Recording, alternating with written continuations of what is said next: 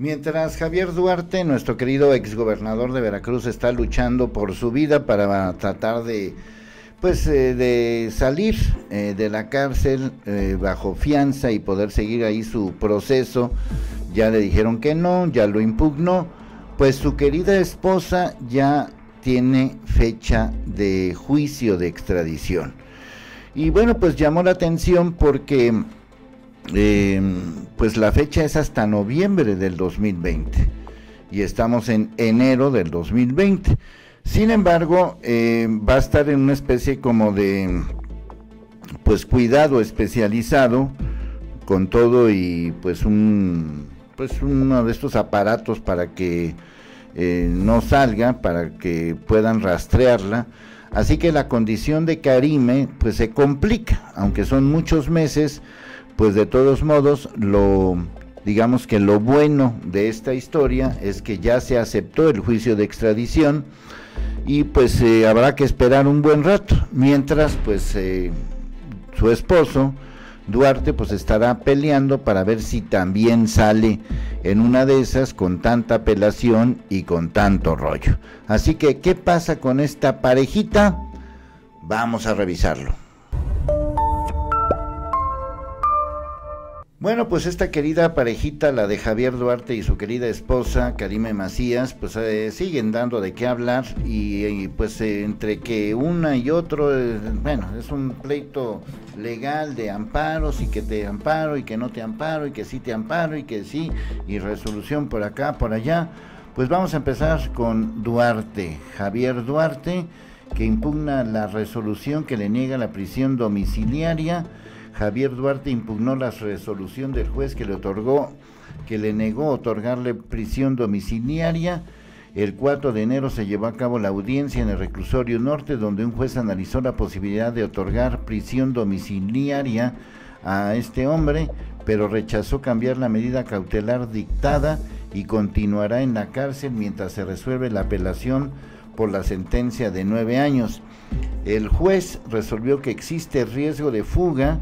razón por la cual no procede el arraigo domiciliario que solicitaron los abogados. Y también, eh, pues por otro lado, se fijó ya una fecha para el caso de Karime Macías. Y en el caso de Karime Macías,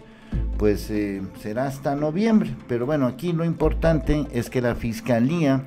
logró que la Corte de Magistrados de Westminster en Londres fijara para el 16 de noviembre, o sea, falta febrero, marzo, abril, mayo, junio, julio, agosto, septiembre, noviembre, 10 meses, em, el inicio del juicio de extradición eh, contra Karime Macías, luego de que esta investigación estuviera estancada por varios meses durante la administración anterior. La Fiscalía, con fundamento en la solicitud de formal extradición internacional, Em, fue eh, detenida el 29 de octubre y presentada por orden de la estación de la policía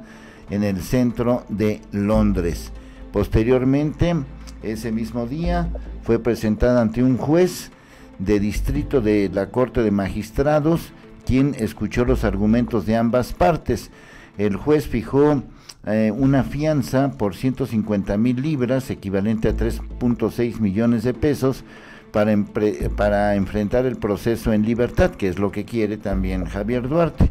Debe presentarse diariamente debe presentarse diariamente ante la estación de la policía más cercana a su domicilio, portará un brazalete electrónico, se le aseguró su pasaporte y no puede acudir a ningún puerto internacional de salida ni comprar pasajes de viaje. Este día se llevó a cabo la audiencia, misma que fue breve, en donde a la reclamada la Corte de la causa le reiteró que en caso de que incumpla las medidas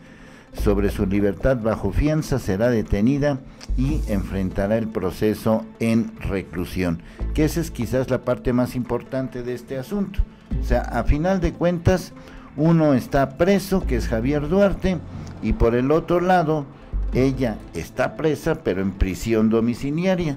Este es el tema. Eh, si Macías viola los criterios de la detención bajo fianza, podría ser detenida. La justicia mexicana reclama a la esposa de Javier Duarte por presunto fraude en agravio del patrimonio veracruzano y aquí están pues algunos de los datos relacionados con todo este tipo de situaciones. Entonces, en pocas palabras, Javier Duarte por el momento se queda en la cárcel, sigue el proceso de apelación, Karime Macías se queda en Londres, pero pues va a tener una condición de pues de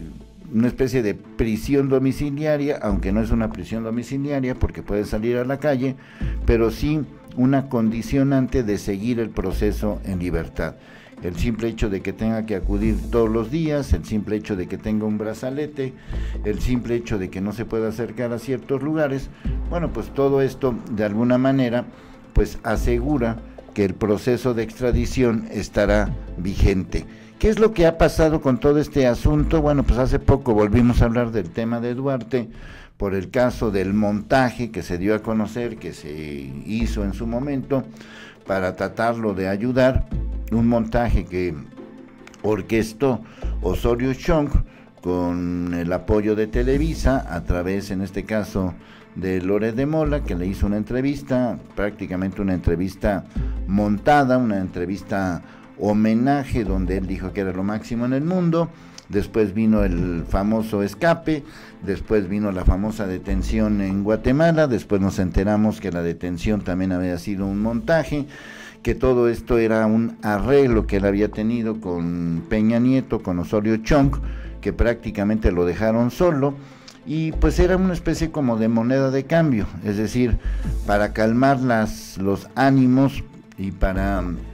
de alguna manera pues afianzar todos estos temas relacionados con la lucha de la corrupción y todos esos rollos,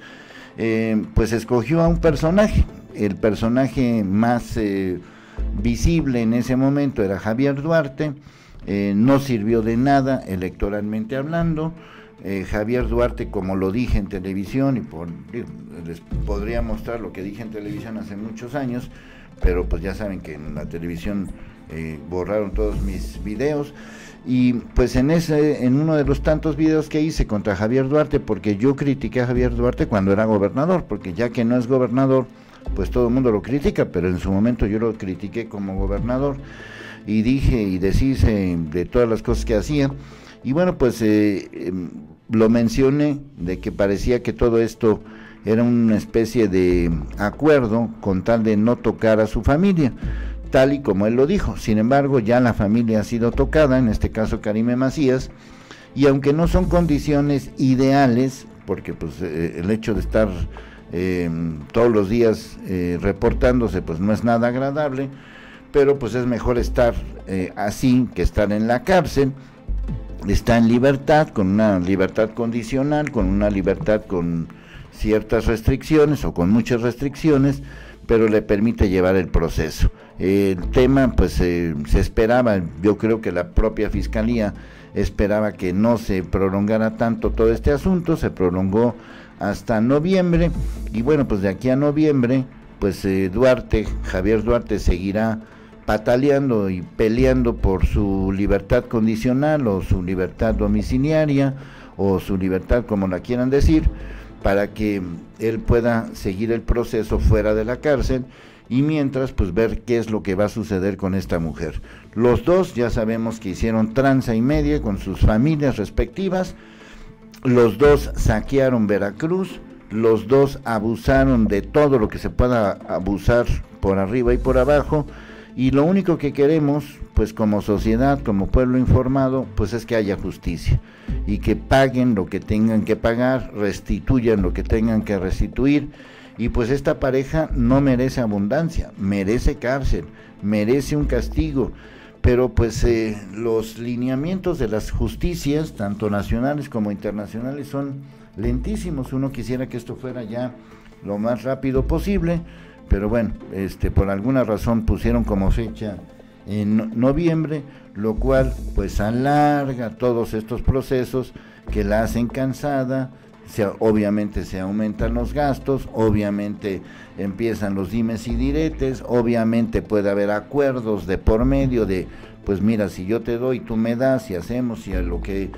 Bueno, a final de cuentas eh, ganamos en el sentido de que se está aplicando la justicia, perdemos en el sentido, perdemos como pueblo informado de que esto se está prolongando mucho, pero pues eh, lo que queremos saber es qué hizo esta familia, porque insisto, no solamente es la pareja, Duarte y esposa, sino sus familias involucradas en asuntos muy turbios, muy feos, muy vergonzosos y que de alguna manera pues marcan una pauta o que espero que en algún momento dado marquen una pauta para futuras investigaciones contra gobernadores. Y poner siempre en la mesa el hecho de que los gobernadores no pueden hacer y deshacer a su antojo nada más porque son gobernadores y no hay nadie que les ponga un alto.